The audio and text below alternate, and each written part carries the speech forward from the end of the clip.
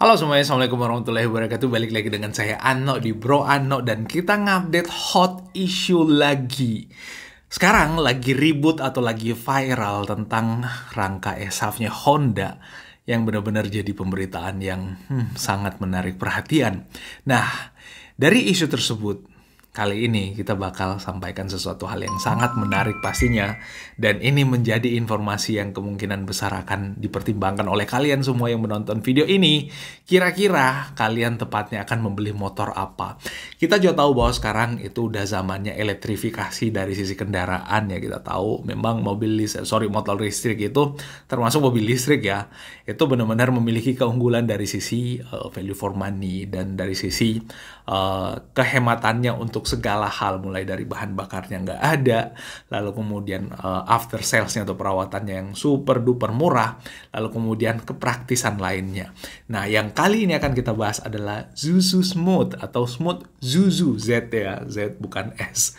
Zuzu. Zuzu bukan susu, Zuzu. Ya, kita bahas kali ini adalah smooth susu yang menjadi uh, motor listrik primadona yang harusnya menjadi salah satu pilihan terbaik buat kalian yang membutuhkan kendaraan roda dua untuk daily use dalam kota yang jaraknya nggak jauh-jauh amat.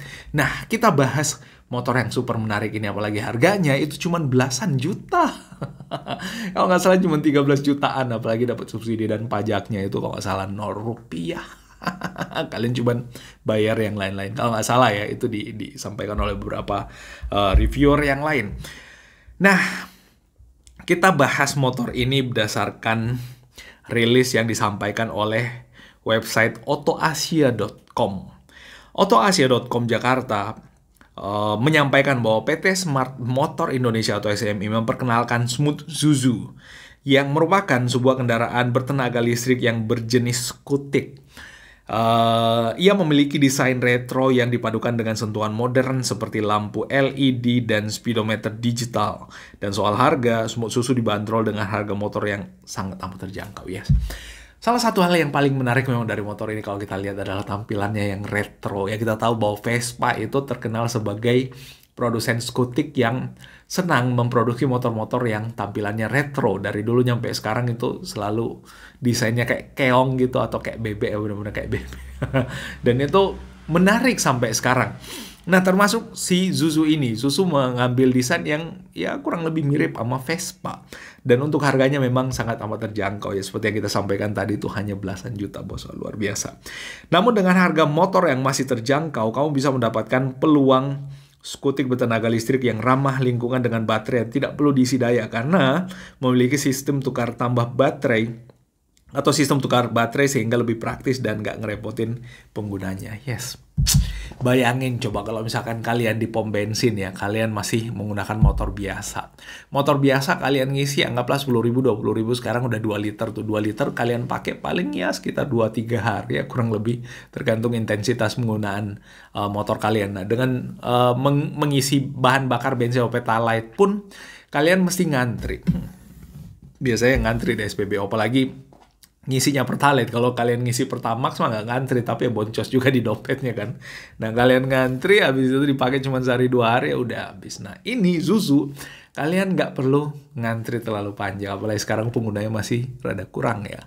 Kalian tinggal datang ke charging stationnya atau ke tempat penukaran baterainya, langsung copot baterainya, tukar sama baterai yang ada di motor Zuzu kalian yang lagi low bed, udah langsung riding lagi, gas lagi. Pokoknya sangat amat praktis dan pastinya sangat amat memudahkan.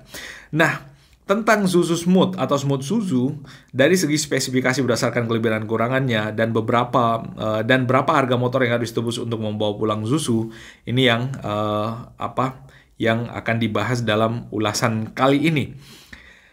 Nah, untuk uh, Zuzu itu dijual dengan harga yang sangat terjangkau ya. Untuk harga on the road-nya Jabodetabek masih di bawah 25 jutaan dan pastinya harga yang uh, ramah di kantong membuatnya menjadi uh, membuatnya menjadi sangat amat menarik untuk dibeli oleh uh, orang Indonesia.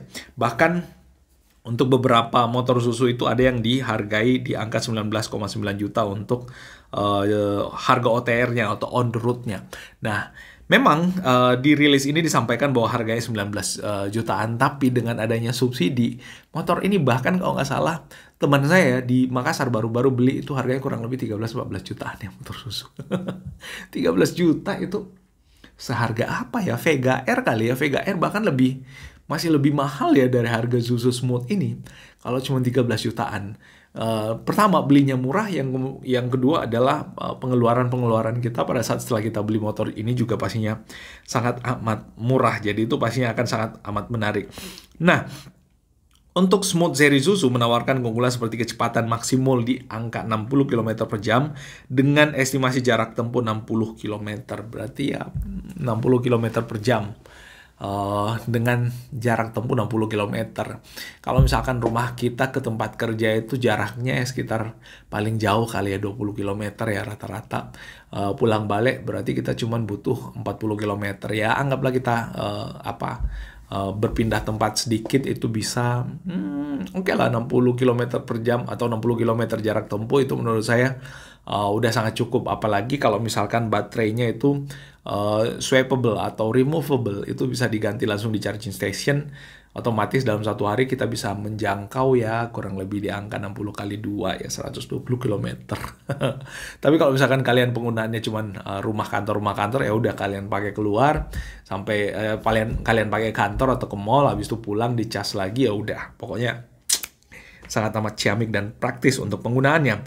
Keunikan dari baterai ini adalah tidak perlu diisi ulang melainkan penggunanya harus perlu hanya perlu menukar baterai di lab. Uh, banyak banget. Sekarang udah 800 titik swap point yang tersebar di jaringan Alfamidi dan Alfamart dan Shell di area Jabodetabek. Hmm sekarang di Jabodetabek ya. Untuk untuk sekarang sebenarnya bukan cuma di Jabodetabek ya, di beberapa daerah lain juga udah tersedia untuk baterai swap daripada motor-motor listrik apalagi di Alfamart dengan Alfamedia. Ini harusnya memang memang menjadi peluang besar buat uh, apa uh, minimarket uh, seperti itu untuk memasarkan atau uh, menyediakan uh, baterai swappable daripada motor-motor listrik kan itu akan sangat membantu buat orang-orang yang uh, menggunakan motor listrik apalagi motor-motor sejenis ini itu paling menguntungkan dipakai oleh uh, taksi online karena pasti hematnya di mana-mana gitu kan apalagi kalau udah baterainya menjamur juga pasti sangat mudah untuk dipergunakan. Smooth Susu memiliki desain yang menggabungkan elemen retro dan modern pastinya seperti kita sampaikan di, di awal namun perlu diperhatikan bahwa ketersediaan swap point ini belum merata di seluruh wilayah Indonesia. Hal ini akan menyulitkan untuk kalian yang berada di luar Jabodetabek. Ya segera saya yakin sih ya dengan angka penjualan motor ini yang terus berkembang, terus rame, pastinya akan mendukung juga untuk infrastrukturnya. Uh, mulai dari charging stationnya atau tempat buat penggantian baterainya juga pastinya akan dibikin lebih rame lagi. Smooth Susu memiliki ukuran panjang 1,7 meter, lebarnya 650 mm dan tingginya 1,1 meter. Skutik ini menyerupai Vespa uh, motor listrik dengan uh, jenis DC brushless yang memiliki daya sebesar 1500 watt. Hmm, nice. Klaimnya motor ini bisa digunakan untuk 60 km dan baterai yang digunakan memiliki kapasitas 64 volt. Uh, 64 volt ya, wah luar biasa. Smooth susu mampu menahan beban hingga 150 kg. Uh, saya beratnya 85 kg, kalau 82 kali 8 16 160. Waduh. Hmm, over ya kalau kayak dua orang kayak saya tuh aduh kesian motornya. uh, Oke. Okay. Dan dilengkapi dengan eh, suspensi hidrolik di bagian depan dan belakang dan ban depannya digunakan memiliki ukuran 90 per 90 uh, ring 12 sementara untuk yang belakang 110 per 70 ring 12. Sistem pengeremannya udah lengkap dengan cakram di bagian depan belakang. Wah, cakram depan belakang, bos. Cakep. Kecepatan maksimumnya itu mencapai 60 km per jam dan kalau nggak salah itu ada uh, tiga mode, ada yang eco, ada yang normal, ada yang sport. Eco itu 40 km per jam, lebih jauh pasti jarak tempuhnya. Uh, normal itu 50 km per jam dan sport 60 km per jam. Tersedia dalam 5 varian warna, ada yang warna putih, ada yang warna biru, muda, kuning, dan Tosca. Semua lampu menggunakan teknologi LED. Wah, cakep. Sebagian tambahan, oh, sebagai tambahan unik untuk smooth uh, menambahkan aksen garis LED di sekitarnya. Waduh, Bos, bos, bos. Ini tentu menjadi pilihan yang pastinya akan sangat menarik buat kalian yang kepengen motor yang hematnya luar biasanya, harganya pun murah. Karena setahu saya motor Matic sekarang nggak ada yang di bawah 20 jutaan kalau nggak salah. Koreksi kalau saya keliru. Nah, Buat kalian semua, menurut kalian seperti apa sih Zuzu Smooth atau Smooth Zuzu ini? Apakah motor ini menjadi wishlist kalian atau akan menjadi uh, motor yang akan kalian kalian beli dalam waktu dekat? Dan menurut kalian, apakah motor ini worth it untuk dipakai daily use dalam kota untuk durabilitas durability atau uh, penggunaan dalam jangka, jangka waktu yang lama seperti apa, tuliskan di kolom komentar yang ada di bawah. Itu yang bisa kita share kali ini. Kalau ada yang keliru dan salah, mohon dimaafkan dan mohon kita dikoreksi di kolom komentar. Terima kasih. Assalamualaikum warahmatullahi wabarakatuh dan bye-bye.